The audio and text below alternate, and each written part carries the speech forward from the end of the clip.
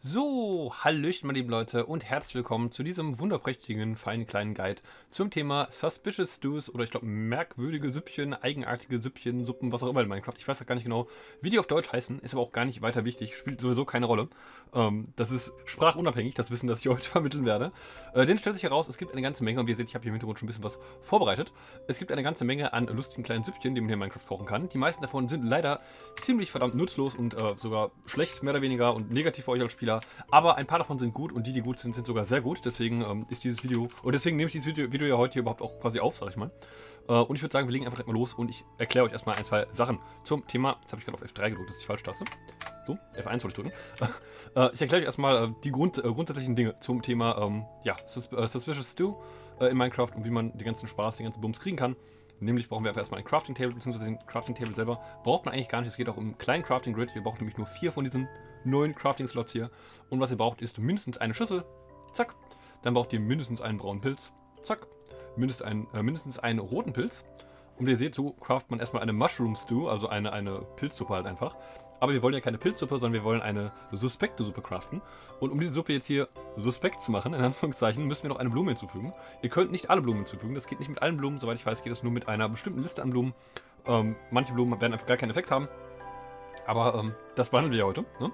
Äh, ich habe zum Beispiel hier eine, eine der Blumen, die einen, einen Effekt hat, wenn man sie hinzufügt. Das ist diese hier, diese gelbe hier, die äh, Dandelion-Blume. Die gebt ihr einfach dazu. Und schon, wie ihr seht, wird unsere Suppe hier so grün, grünlich, lilalich. Da sind ein, zwei grüne Teilchen, lila Teilchen dabei, wenn ich das wieder rausnehme, wie ihr seht.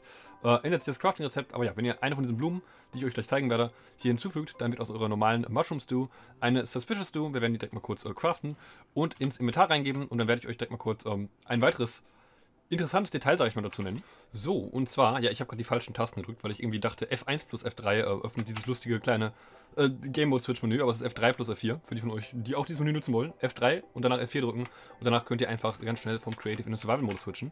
Wie auch immer, ähm, ja, das, das, darum geht es aber gerade gar nicht. Worum es geht, ist folgendes. Äh, wie ihr seht, ich habe eine volle Hungerleiste. Ja? Das äh, seht ihr hier unten, da wo eine Maus gerade ist, oder auch da neben meiner Facecam. Meine Hungerleiste ist voll, das heißt, ähm, ich gehe nur kurz in den Creative-Modus. Das heißt zum Beispiel, wenn ich mir jetzt hier, äh, keine Ahnung, wir nehmen uns jetzt hier ein Stück Cooked Chicken. Äh, das kann ich nicht essen. Ich drücke gerade auf die Essen-Taste. Ich weiß nicht, ob man das hört. Ich drücke hier gerade auf meine rechte Maustaste, nichts passiert. Ja? Das kann ich nicht essen, meine Hungerleiste ist voll. Suspicious Stew allerdings ist äh, ganz speziell. Ist halt ein suspektes Nahrungsmittel. Wie ihr seht, das kann ich essen, obwohl meine Hungerleiste voll ist. Und ähm, das ist eine äh, Tatsache, die quasi gültig ist, sag ich mal, für alle Arten von Suspicious, äh, Suspicious Stew. Egal, ob sie gut ist, ob sie schlecht ist, was auch immer. Äh, egal, welchen Effekt sie hat, Suspicious Stew, also suspekte Suppe, könnt ihr jederzeit essen.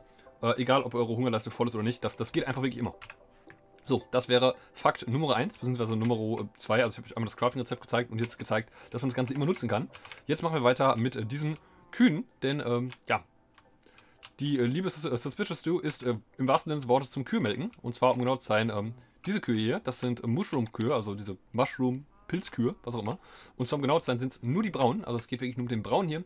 Das geht nicht mit roten Mushroom-Kühen, das geht nur mit den braunen. Ähm, diese braunen hier sind sehr selten. Wenn ihr, ich glaube, wenn ihr zwei rote Kühe, also rote Mushrooms miteinander paart, kann zu 1 ist irgendwie die Chance 1 aus 2064 oder sowas, dass dabei halt eine braune bei rauskommt, eine braune Babykuh. Oder aber Ihr sorgt dafür, dass der Blitz, zum Beispiel mit einem Dreizack oder mit einem Blitzableiter, sorgt ihr dafür, dass der Blitz in eine rote Mushroom-Kuh einschlägt und dann wird sie direkt auch zu einer braunen. Und diese braunen Kühe haben eine ganz spezielle Eigenschaft. Ich nur kurz den Create-Modus, um hier schnell so in den Zaun reinzukommen. Äh, wenn wir nämlich jetzt hier die andere äh, Dandelion nehmen, die ich jetzt hier gerade habe, wenn wir die jetzt hier nehmen und äh, eine von diesen Kühen damit äh, füttern, sage ich mal, wir nehmen mal diese hier zum Beispiel, weil die jetzt gerade von der Herde so schön separiert ist. Ich rechtsklicke jetzt hier auf diese Kuh. Zack. Wie ihr seht, da kamen so ein paar Partikel raus, so ein lustiger kleiner Soundeffekt. Und jetzt können wir mit unserer Bowl diese Kuh hier melken. Und wie ihr seht, haben wir von dieser Kuh jetzt ähm, Suspicious Stew gekriegt. Und ist, ich, also ihr werdet es nicht sehen, weil ich glaube, die Dandelion Stew äh, hat einen bestimmten Effekt, der nur ganz kurz anhält. Aber ihr werdet sehen, der Effekt wird äh, genau wie gerade eben, da über mir, oben rechts in der Ecke, nur ganz kurz anhalten und sofort verschwinden. Ja, das ist nämlich der Saturation-Effekt. Ähm, den hatten wir gerade auch schon. Also wie ihr seht, diese, diese hier war es. Diese Kuh hier wird uns jetzt immer Okay, diese war es nicht. Die hat uns jetzt nur Mushroom Stew gegeben. Aber die, okay, die kann ich jetzt nicht mal, äh, nicht mal essen, weil mein Hungerleist voll ist. Ähm, Okay, auch Mushrooms durch. Ich weiß nicht, welches war. Und ich glaube, ihr müsst ein bisschen warten. Da gibt es so einen leichten Cooldown, äh, Cooldown drauf, glaube ich. Ich glaube, man kann die nicht endlos melken. Die hier vielleicht? Ne, dann wird es die der ganzen Ecke sein. Äh, aber soweit ich weiß, müsst ihr quasi einmal dieses, dieses Blümchen füttern. Dann habt ihr, glaube ich, zwischendurch einen leichten Cooldown-Event. Ja, dann ich, ich glaube, dann merkt man eine Zeit lang wahrscheinlich nur Mushroom Stew. Aber nach meinem Verständnis und meinem Wissen müsst ihr einfach ein bisschen warten und nach einer Zeit könnt ihr von derselben Kuh dann wieder die Suspicious Stew quasi abmelken. Das heißt, ihr braucht nur eine Blume ähm, und könnt dann quasi mit, der, mit Hilfe der Kuh endlos viel äh, Suspicious Stew daraus melken. Soweit zumindest mein Verständnis. Ich könnte mich da gerade auch irren, aber ich meine, das war so. Sollte es nicht so sein, könnt ihr euch so oder so auf jeden Fall zumindest die beiden Pilze wegsparen quasi, die ihr sonst bräuchtet, um die, um die Suppe zu craften. Aber ich bin mir relativ sicher, ihr müsst einfach ein bisschen warten und könnt dann wieder die uh, Suspicious Stew ähm, quasi abmelken, die ihr da quasi reingefüttert habt. Ich meine, so dürfte das sein. Ich könnte mich natürlich auch irren. Soll ich mich irren, korrigiert mich eben gerne in den Kommentaren, aber ich meine, das war so. Äh, ich werde mal kurz mein Inventar ein klitzekleines wenig entleeren. So, machen wir eben schnell hier. So, zack, zack, zack und zack. Zack, zack. Und dann äh, geht es jetzt ans äh, Eingemachte, sag ich mal. Ich mache mein Hut wieder weg, weil das brauchen wir jetzt eigentlich, eigentlich erstmal nicht mehr. Ähm, denn ich werde euch jetzt äh, mitteilen, wie ihr seht. Äh, erst, erst, erstmal laufen wir einmal kurz an allen vorbei. Es gibt diese Blumen hier. Also das sind alles, das, das sind die ganzen Blumen, mit denen ihr halt hingehen könnt. Und aus denen ihr uh, Suspicious Stew craften könnt mit Effekten. Zum Beispiel aus dieser hier, aus dieser hier. Ähm, dieses uh, Suspicious Stew kann man aus diesen beiden Blumen craften, also aus der gelben Dandelion und dieser blauen hier. Ähm, die Cornflower, das ist diese hier, daraus kann man einen craften. Ähm, das ist, glaube ich, die Lily of the Valley. Dann haben wir hier noch äh, diese hier, Ox Eye Daisy, glaube ich. Die neue Torchflower und auch die Poppy können diese hier craften, dieses Suspicious Stew. Ähm, alle Tulpen, egal ob rot oder ne, welche Farbe auch immer, können diese hier craften. Und äh, die River Rose kann auch eine ähm, Suspicious Stew craften. So, das wollte ich einmal kurz so gezeigt haben. Und jetzt würde ich sagen, ähm, starten wir mal rein und ich zeige euch, was, was, was, was, wieso, weshalb, warum die Bananen krumm ist. Ja? Ich habe die Stew auch mal hier, hier, äh, hier, jeweils einmal drin. Ich glaube, ich muss euch aber nicht unbedingt zeigen. Ähm, das habe ich nämlich. Äh, ich ich habe euch auf dem Schild, also hinter den Truhen, habe ich jeweils auf dem Schild drauf geschrieben, was die, was die Stews machen. Ich könnte sie jetzt auch trinken, aber ich bin mir sicher, ihr könnt euch selber vorstellen oder selber ausprobieren, was die dann genau machen. Ich dachte mir, ich zeige das einfach mal. Also diese Blume hier, die heißt äh, Allium, soweit ich weiß. Genau. Also Allium. Im, im Englischen heißt die so. Ähm, Im Endeffekt achtet einfach darauf, dass ihr diese Blume hier sucht, findet und, und einsackt. Ja, falls ihr euch dieses Stew hier craften wollt, denn die ist auch ganz gut.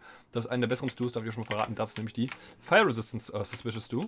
Ähm, und tatsächlich gibt es ja einen Versionsunterschied, also bei allen, bei allen Stews, ja, also bei allen von diesen Suspicious Stews gibt es einen Version, Versionsunterschied. Äh, die, äh, die Stews, also die, die Suppen in der Java-Version, ähm, in der Regel halten sie immer ungefähr zwei Sekunden länger an, beziehungsweise generell sind sie einfach besser, sag ich mal, in der Java-Version. In der Bedrock-Version wurden diese, diese ganzen Suppen alle ein bisschen genervt, warum auch immer.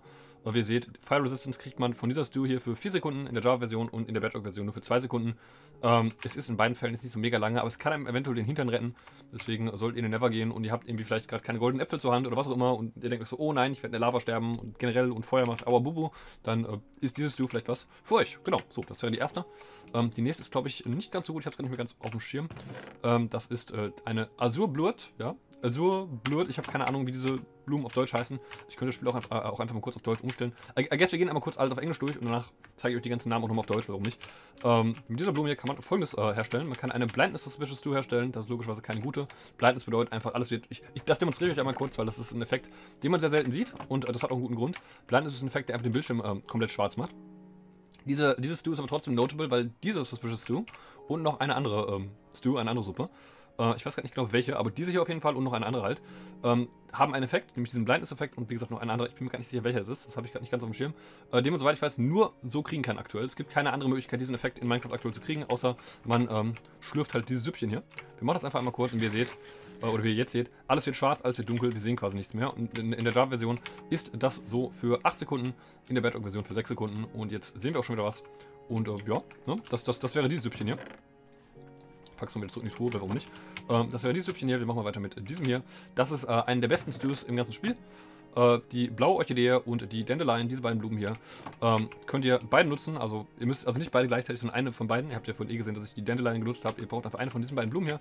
Äh, und damit stellt ihr eine der besten Stews im ganzen Spiel her, nämlich die Saturation Suspicious Stew. Ähm, wie ihr seht, der Effekt lastet nur 0,35 Sekunden und in der Bedrock-Version nur 0,3 Sekunden. Aber dieses Stew hat es halt wirklich in sich. Denn innerhalb dieser 0,3 oder 0,35 Sekunden, je nachdem, ich spiele jetzt die Java-Version, deswegen 0,35 Sekunden, innerhalb von diesem kurzen Zeitraum, ähm, ich werde euch mal kurz den Trick dahinter quasi erklären, äh, wie man dieses Stew hier quasi zu, zu, äh, zu, zu, zu, ihrer Gänze ausnutzen und auskosten kann. Ja? Ähm, wenn ihr im Survival-Modus seid, geht ihr einfach hin und füllt eure Hungerleiste. Ne, da, links neben mir. Die füllt ihr am besten möglichst voll auf. Oder fast voll auf. Äh, und esst am besten irgendwas, was euch viel Saturation gibt. Also für die von euch, die jetzt nicht wissen, es gibt zwar diese Hungerleiste, die ihr da unten seht, es gibt aber noch eine zweite Leiste, die Sättigungsleiste. Und die zeigt, zeigt euch das Spiel einfach gar nicht an. Ja? Die Saturation bzw. Sättigungsleiste wird euch nie angezeigt. Ähm, bestimmte Nahrungsmittel ähm, füllen die Sättigungsleiste mehr als andere. Also zum Beispiel, ich glaube, gekochtes Schweinefleisch füllt die, glaube ich, am meisten auf von allen Nahrungsmitteln im Spiel. Das heißt, äh, egal was ihr esst, also ihr esst euch am besten mit der Hungerleiste fast komplett voll. Und das letzte, was ihr esst, sollte am besten Schweinefleisch sein, weil ich glaube, das, das, überschreibt sich immer irgendwie so gegenseitig. Frag mich nicht, ich, ich bin, bin da gerade nicht äh, ganz, ich bin mir gerade nicht ganz sicher, wie das nochmal war. Ich würde euch auf jeden Fall dazu raten, dass ihr guckt, dass ihr die Sättigungsleiste möglichst voll kriegt. Wie gesagt, ihr seht die nicht, aber ein oder zwei Stücke äh, Schweinefleisch einfach essen, das gibt euch am meisten, also gekochtes natürlich, ungekocht wäre schlecht. Ähm, das ist, glaube ich, eine der Nahrungsarten, die mit am meisten äh, Sättigung gibt. Damit ist die Sättigungsleiste dann ziemlich voll. Ähm, und wenn ihr dann, wenn die Hungerleiste voll ist, wenn ihr jetzt, weil wie gesagt, ne, das kann man auch essen, wenn die Sättigungsleiste schon voll ist, wenn ihr jetzt dann dieses äh, Suspicious Stew quasi noch oben drüber kippt, ja, kriegt ihr nochmal kurz diesen Sättigungseffekt. Und dieser Sättigungseffekt kann quasi, ähm, weil ich glaube, es gibt kein Cap, es gibt kein Limit beim Sättigungswert, der kann den, also der, solange ihr diesen Effekt habt, erhöht sich euer Sättigungswert quasi, ne, der unsichtbare, der erhöht sich noch weiter. Und der kann quasi sich dadurch noch weiter erhöhen, als er das normalerweise könnte. Und jetzt mögt ihr euch fragen, was bringt dieser Sättigungswert? Ähm, ja, also wenn ich jetzt hier rumrenne, ne, dumm, dumm, dumm, wir rennen hier ein bisschen rum, werdet ihr jetzt gleich merken und auch rumspringe.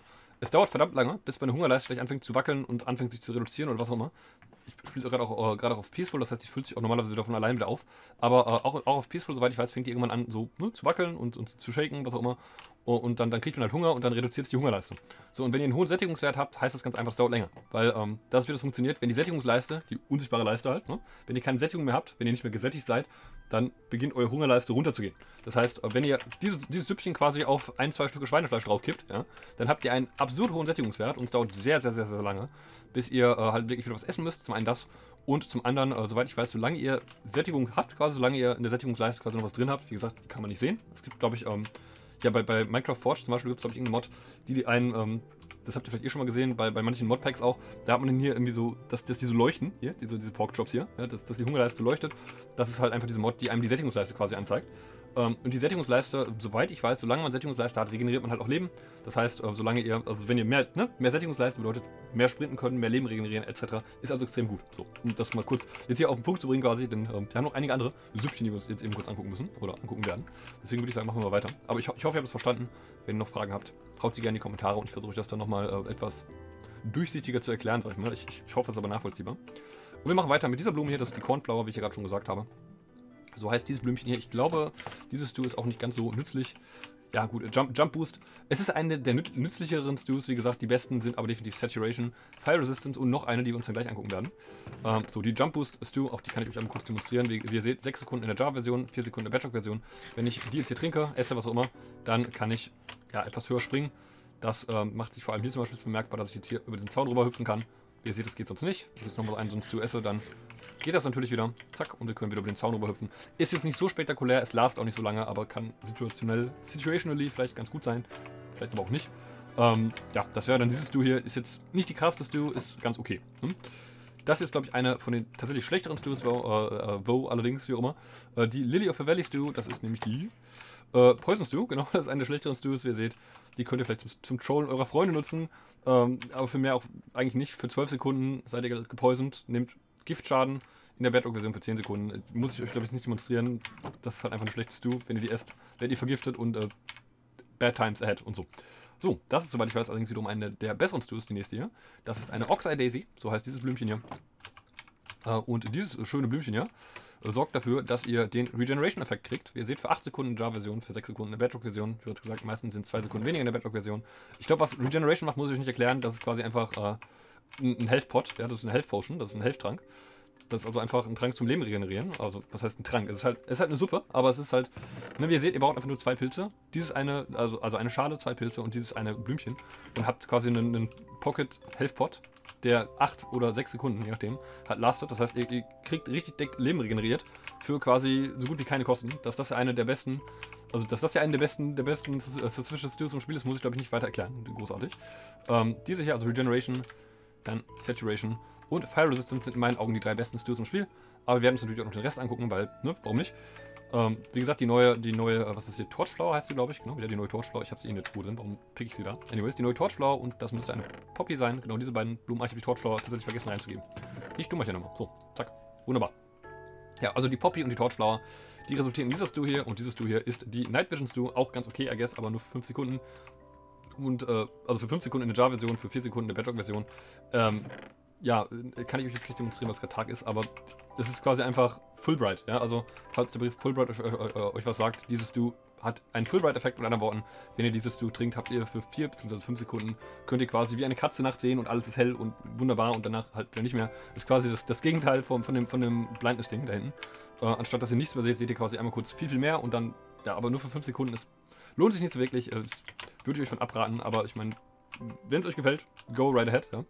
Äh, die Tulpen, wie gesagt, nicht nur die rote Tulpe, sondern auch die, es gibt auch andere Tulpen, was gibt es noch für lustige Tulpen? Soweit ich weiß, geht das mit allen Tulpen. Äh, wo sind wir denn da? hab vorbeigescrollt daran, oder? Natural Blocks. Ich müsste eigentlich hier richtig sein. Ja, bin ich auch so. Äh, die rote, die orangene, die weiße und die pinke Tulpe. Diese ganzen Tulpen resultieren alle in derselben Stew und äh, alle alle Einheiten, alle Instanzen dieses Stew sind leider alle Schrott, mehr oder weniger. Das ist eine Weakness Stew, eine weitere Troll Stew, schätze ich mal. Ähm, für 9 Sekunden bzw. 7 Sekunden habt ihr Weakness und macht weniger Schaden. Ich glaube, das ist eventuell der andere Effekt neben Blindness, den man nur mit Suspicious, äh, Suspicious Stew kriegen kann. Ich glaube, anders äh, kann man diesen Effekt eventuell nicht kriegen. Entweder der hier oder ein anderer von denen, die da gerade schon waren. Ich glaube aber, ähm, das war, war, dieser hier eventuell. Und zu guter Letzt, ähm, ja, die River Rose. Ich werde es euch direkt zeigen. Riesenüberraschung, dass man den Wither-Effekt kriegt, wenn man sich einen Suspicious Do mit Wither Rose craftet. Für 8 Sekunden bzw. 6 Sekunden. Auch das eher ein, äh, ein Troll-Suspicious Do, schätze ich mal. Zum Freunde trollen oder so. Also einen anderen Sinn sehe ich dahinter nicht wirklich. Es sei denn, ihr wollt unbedingt äh, Schaden nehmen, dann Whoopdidu, das ist die Stew für euch und dann am besten noch kombinieren mit der Poison Stew, welche war das? Die hier, glaube ich, the Valley, ja genau. Äh, diese beiden Stews kombinieren und äh, Bad Times Ahead und äh, Aua Bubu und so. Anyways, äh, ja, das sind alles Tools, die man so craften kann. Ich werde jetzt noch folgendes tun. Ich werde jetzt einmal kurz meine Sprache gleich auf, auf, auf Deutsch ändern und dann werde ich euch die ganzen Blumennamen nochmal auf Deutsch zeigen, weil warum nicht. Außerdem kann ich dann endlich mal rausfinden, das Mysterium, wie diese schöne suspekte Suppe denn auf Deutsch heißt. Ich bin nämlich, nämlich gerade immer nicht ganz sicher. Deswegen, äh, bis gleich. Ich möchte euch einmal kurz, äh, bevor wir hier weitermachen, darauf hinweisen, was zur Hölle ist das hier bitte? Wieso, wieso, wieso scrollen diese Knöpfe? Äh, ja, anyways, deswegen spiele ich Minecraft auf Englisch, weil auf Deutsch ist es irgendwie kind of scuffed und und so. Ihr, ihr seht es ja selber. Wie auch immer, fertig, zurück zum Spiel. Und wir finden es heraus, als allererstes. Drumroll, please. Seltsame Suppe, so heißt sie auf Deutsch. Nicht suspekt, sondern seltsam. Macht Sinn. Gut, so die Alium heißt auf Deutsch Zierlauch, meinetwegen auch. Mir gefällt Alium irgendwie besser, aber okay. Anscheinend ist das hier ein Zierlauch, ich, äh, sure. Ähm, das hier ist eine, ein, ein Porzellansternchen. Also, also der, der, Zierlauch ist für Feuerresistenz, logischerweise die Schrift auf den Schildern ändert sich jetzt nicht. Ähm, der Zierlauch ist für Feuerresistenz. Der, das Porzellansternchen ist für Blindness, also für Erblindung quasi. Ähm, ja, blaue Orchidee und genau, Löwenzahn, so heißt, so heißt die Dandelion auf Deutsch. Äh, für Saturation, also für Sättigung quasi. Jump Boost, also Sprung, Sprung Boost kriegt ihr von, äh, von der Kornblume. Okay, Cornflower auf Englisch macht Sinn. Lily of the Valley, Maiglöckchen gibt euch äh, den Poison, also den, den Vergiftungseffekt. Die Margerite gibt euch den Regenerationseffekt. Die Fackellilie und die, der Dämon, ja, die Poppy, Dämon, ähm, gibt euch den Night Vision Effekt, also den Nachts-Seh-Effekt, den Katzenaugen-Effekt quasi. Die Tulpen, gut, Tulpen sind Tulpen. Äh, die Tulpen geben euch den Weakness-Effekt, also den Schwäche-Effekt. Und zu guter Letzt die Wither-Rose gibt euch den Wither-Effekt, also den Ver Verwitterungseffekt, heißt das auf Deutsch? Ich bin grad, wir finden es aber kurz raus, ich bin mir nämlich gar nicht ganz sicher. Äh, wie heißt dieser lustige Effekt auf Deutsch?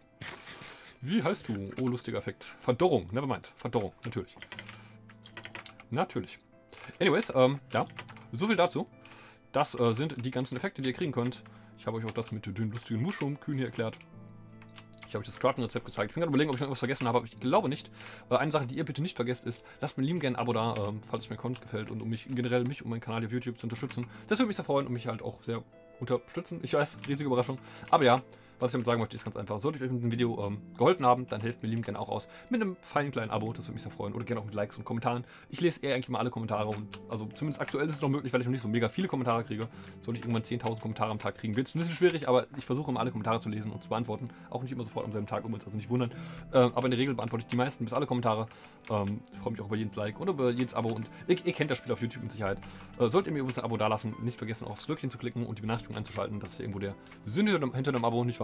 Äh, aber ja, ich würde sagen, das wäre es soweit fürs heutige Video. Wie bereits gesagt, unterstützt mich lieben gerne mit Likes, Kommentaren, Abos. Ihr könnt, glaube ich, auch mittlerweile Mitglied werden auf meinem Kanal. Ich, es hat aktuell, glaube ich, noch keinen einzigen Vorteil, außer dass da steht, du bist jetzt ein Mitglied. Äh, ich habe es einfach mal eingeschaltet vor ein paar Wochen oder so und habe mir das dann nicht nochmal angeguckt. Seitdem, vielleicht, vielleicht werde ich da bald auch mal was dran machen. Ich, ich weiß nicht, aber ich habe aktuell viel um die Ohren. Auch äh, mein, auf meinem englischen Kanal zum Beispiel, plant ich auch aktuell Videos für. Auch da müssen Sie gerne mal vorbeigucken. Mein englischer Kanal ist ein Programmierkanal, wo ich zum Beispiel auch Videos äh, zu meinen Minecraft-Mods, die ich selber erstellt habe, hochgeladen habe und zu anderen lustigen Programmierthemen. Und da kommt bald auch mal wieder was, wenn ich denn das Video mal fertig habe, woran ich auch unter anderem gerade arbeite. Wie auch immer. Ähm, ich will jetzt hier nicht weiter rumlabern oder rababern. Das wäre es soweit fürs heutige Video. Ähm, schaut lieben gerne auf meinem anderen Kanal vorbei. Unterstützt lieben gerne auf diesem Kanal. Und schaltet vor allem lieben gerne wieder beim nächsten Video ein. Ich hoffe, ich konnte euren Tag etwas äh, versüßen und euch etwas aushelfen mit diesem Video. Bis zum nächsten Mal. Tschüss. Quit euch!